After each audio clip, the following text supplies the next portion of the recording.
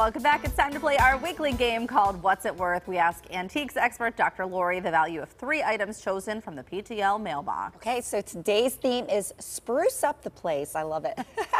so, Dr. Lori, is there a story behind this theme? I mean, are all these items, you know, they add a little magic to the home?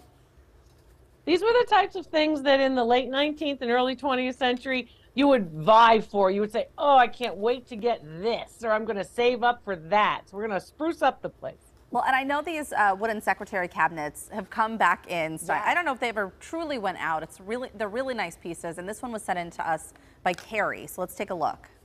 It's beautiful. You know what's nice about these pieces? There's a lot of classical elements to it. Look at those nice pilasters, some scrolled feet. The writing surface is slanted, so you see it, it looks like it slants inward. That actually folds out, and you can sit in front of those three drawers and write your letters and such. Um, some nice leaded glass, and also a curved glass, or what's called a glazed panel door, a glass panel door like that. This is a very nice cabinet. Uh, late 19th century, very typical. And what's nice about these is they're diminutive. They're not overly huge like a big china hutch. Right. Uh, you get a lot of bang for your buck out of these. What do you think, ladies? I don't. Should I ask you the question that David would ask? Okay. Is it oak? Very, very good question. That is a good Indeed, it is oak. Okay. That's right.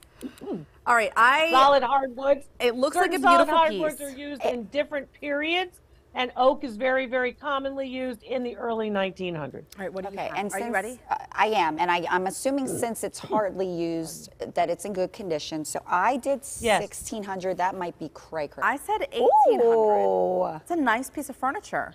So we're You guys are great. That's exactly close. $1,500 is what it's. Wow. so we were both Very close, over. but Does yeah, that we were mean both- it's a wash? No, no, no. Daisy gets the point. Woo! And uh, next up, we have a framed fan sent in by Janet.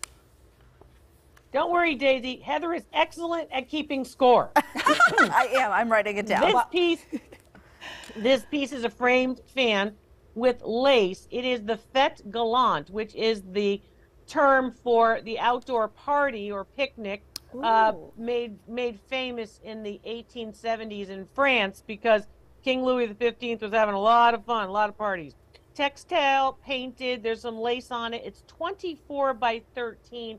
It has a custom made frame, so don't forget framing can be very expensive. Hand painted, um, a typical ladies' fan. What is this from exactly? The fan itself looks back to the 1740s, 1750s in its subject matter, but in fact, it it dates to about 1880, 1890. So is that like Bridgerton time? And then the time frame is new. The frame is probably from the 1970s Oh, or 80s. okay. Um, You God, oh, you never had Hard. anything like this before. this is No, very that's unusual. hard. This is not easy. what do you think? We have a so guess think in about here. the frame having value. Eight million Eight- dollars. oh. He says. You Oh, will eight not be on dollars. Prices right. Okay, I- I you ready? okay. I'm ready. I just I said six fifty. I said 300. $400 is what it's worth. Wow, a lot of value you in the are good at custom-made this framing. game. I know I told Heather And earlier I was unique like I haven't lost yet with you, Dr. Lori. So maybe my winning streak will continue. We we missed what you said. What was the last thing that you said, Dr. Lori? I'm sorry, I was talking over you. I apologize. I was I was just saying that there's value in the custom framing, and that it's a rare piece. You don't see them every day, so Absolutely. collectors pay a lot for them because they can't get them easily. Right.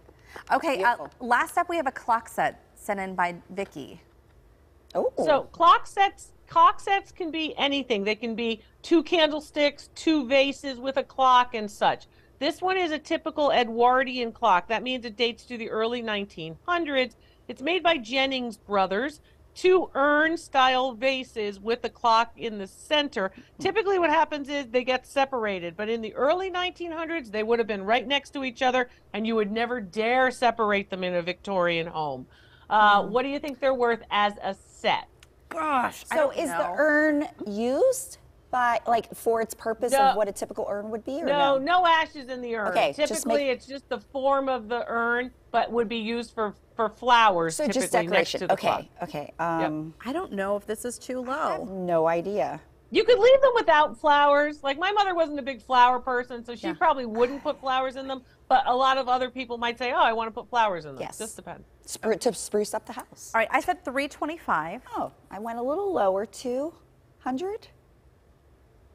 325 is the value of the set. Oh my God! Well, at least I'm on the board. That is amazing. That Good was a lot of fun. Really, really interesting items this week, Yes, Dr. that was Lori. so cool. Yeah, well, you have interesting stuff when you spruce up the house. That's right. That's right. Well, thank you so much as Thank always, Dr. you. Lori. My pleasure. We'll see you next week. Great seeing you. And thank you at home for sending us your pictures. You can send yours to Dr. Lori. Just email us at ptl at kdka.com and maybe yours will be chosen for a future episode with Dr. Lori. It's always so much It fun is.